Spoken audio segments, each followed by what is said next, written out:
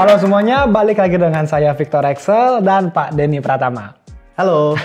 Nah di video kali ini kami akan lakukan Q&A sesi ketiga. Tanpa basa-basi, langsung kita bahas aja. Pertama ini dari Pak Muhammad Nurhak Pak. Oke. Halo semua, Mas Tito, Mas Victor, dan Mas Denny. Bisa nggak kalian setiap kali trading, kalian selalu profit? 100 kali trade, 100 kali profit. Kalau bisa, gimana caranya? Pengennya sih gitu ya Sel ya. Iyalah. 100 kali itu 100 kali, 100 kali profit. Makanya itu udah. Tapi kan nggak bisa ya. Karena kita nganalisa nih. Kita bukan meramal. Iya. Jadi meramalnya bisa salah pagi bisa apalagi nganalisa kan. Lagi pula kalau misalkan 100 kali trade, 100 kali profit, kita udah gak kerja kali bang. Iya. Trading aja terus. Nah, kita kan sadar nih ada yang namanya probabilitas. Yep. Nah, ini uh, soal probabilitas juga udah disebut nih sama Pak Tito di video YouTube-nya. Nah, kalau misalkan kalian masih bingung apa itu probabilitas dan metode, bisa cek video itu. Ya kan bisa langsung tonton dan dipelajari. Ya. Biar yang kayak gini-gini nggak ada lagi nih karena nggak masuk akal 100 kali trade 100 kali profit. Aneh itu. Nah, next dari Pak Arya Wibowo. Pak, kalau pakai metode swing trading, bisa nggak profitnya tuh nyampe 5% sebulan? Kan hold tradingnya lama. Oke, sebenarnya ini pertanyaan agak bias ya. Pertama, kita nggak tahu equity-nya berapa. Ya. Terus uh, pakai lotnya berapa sama swingnya ini berapa pips nih. Hmm, hmm. Gitu. Jadi kita mesti tahu dulu nih hitungan-hitungannya seperti apa. Tapi kalau kita contohin nih, kalau sebulan uh, kita bisa profit 2000 pips. Kita tinggal hitung dong nanti mau pakai lotnya berapa. Yes, kalau pakai 2000 pips satu lot Ya. berarti kan profit itu sekitar 2000 dolar. Kalau dananya 10.000. Iya, betul. Kalau dana 10.000 jadi udah 20 persen. 20 persen. 100 juta dapat 20 juta. Tapi inget nih, kalau misalkan lot digedein, profitnya emang gede. Resiko juga Resiko gede. jadi makin gede. Jadi harus disesuaikan lot dan tradingannya biar tahu presentasenya biar enak. Hitungnya. Nah, next nih Pak, dari Reaper 269. Oke. Pak Tito mau nanya, menurut Bapak penggunaan robot forex itu direkomendasikan nggak atau tidak? Dan alasannya kenapa Pak? Trims. Sebenarnya sih boleh-boleh aja. Iya. Sah-sah aja mau pakai robot karena kan robot itu fungsinya untuk mengotomatiskan metode trading kita nih. Yang baku. Baku. Ya, yang baku. Dan terus ada tips juga dari Pak Tito, kami udah pernah bahas waktu ya, itu. udah Nah, pernah bahas salah satu di video YouTube kita. Iya. Misalnya nih, kita jangan beli robot dari broker. Hmm, nah singkat cerita, broker basically itu market maker. Ya, jadi kita Iya kan? jangan beli robot dari broker. Ya, itu aneh. Sel- uh, selanjutnya, kita jangan beli robot scalping. Ya, karena data backtest-nya itu berdasarkan candle dan candle itu biasa time frame-nya kecil-kecil ya, Pak. ya? Kecil-kecil. Jadi nggak bisa eh, kita analisa historinya kecil, eh, pendek buat ke depannya setahun dua tahun. Seterusnya, kita jangan beli robot yang sistemnya martingale, averaging, grid trading. Bahaya ini. Iya, kalau misalkan satu anomali, kenapa Pak Di langsung anomali, habis. habis. Mau berapapun modalnya, ludes pasti. Ludes semua. Nah, buat nextnya ke- eh, kami udah bahas juga, Ya. jadi kalian bisa langsung tonton video itu juga biar lebih ngerti robot itu seharusnya kayak bagaimana. Betul. Nah, next ini dari Bapak Imam Fadila. Bahas dong Pak, bentuk grafik candlestick tiap-tiap broker itu sama atau beda? Kalau beda, yang bikin beda itu apa? Beda pasti beda. Karena uh, broker itu pertama ngambil price feed-nya mungkin bisa beda-beda. Ya, Kedua, uh, kita mesti tahu trading rules jam open close marketnya Yep. beda-beda. Ini ngaruh ke high low uh, high dan low candle-nya. ya betul. Jadi otomatis sudah beda nih antar broker. Ya, jadi kalau misalkan di broker A itu bisa doji, broker B belum tentu Belum tentu jadi doji karena belum selesai. karena belum selesai. Nah, makanya pas bahas robot yang tadi, eh, itu kadang-kadang kalau dipakai di broker yang di backtest sama robotnya, itu bagus hasilnya. Iya, Ya kan? pasti coba ke broker lain. Ya, boncos. Kok beda?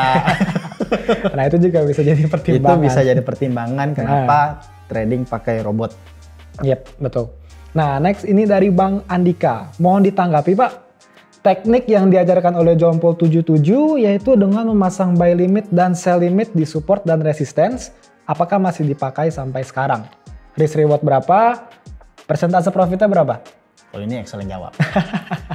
Karena Excel uh, junior. Oke oke, jadi gini.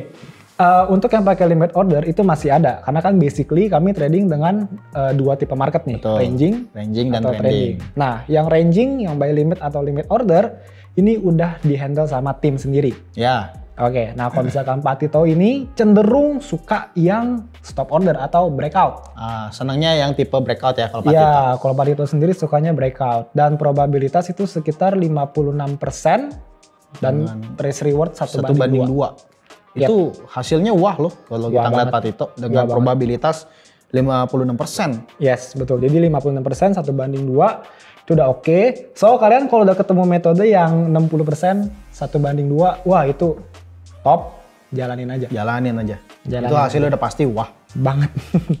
nah ini next ada dari Pak Sumardi RS. Nah sangat bermanfaat dan ternyata untuk sukses menjadi seorang trader banyak hal yang harus dikaji, dipahami, serta dikuasai. Ya. Nah saya mau tanya Pak Tito, untuk swing bagusnya itu di time frame berapa? Tentuin support sama resistensinya. Oke. Apakah harus time frame besar atau di minimal nih? Oke, thank you. Semoga ilmunya bermanfaat dan kalian bisa praktekin secara konsisten. Yes. Nah, dari Traders Family sendiri menyarankan kalau kalian mau cari support resistance itu minimum H4 ke atas time frame-nya nih. Ya, karena secara dasar itu support sama resistance paling valid atau paling kuat di frame-nya time frame makin besar. Yap. Kalau time frame kecil, kalian cari support eh, cari support resisten pusing. Gak sih banyak banget. jadi bingung kadang-kadang Jadi di desa aja bisa banyak juga. Malah ya. nanti ini support resisten bener gak sih? Iya, jadi Gitu, bias. Dan jadi terus bias. next juga ini kalian harus fokus sama exitnya, jangan terlalu fokus sama entry. Karena Betul. kalau misalkan fokus sama entry ya pak, Nanti kita ngerasa hilang momen mulu. iya hilang momen dulu. Padahal kita tahu nih harga mau nyampe ke resisten. Iya. Gitu. Kayak gitu. Jadi bagi kalian yang belum tahu nih pembahasan kita tuh apa, kami udah bikin eksklusif konten di website kami.